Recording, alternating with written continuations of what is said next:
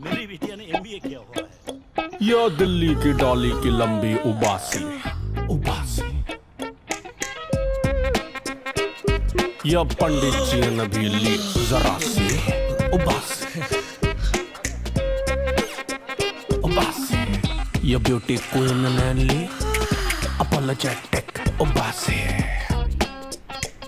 या मजनू के चढ़ी समंदर किनारे।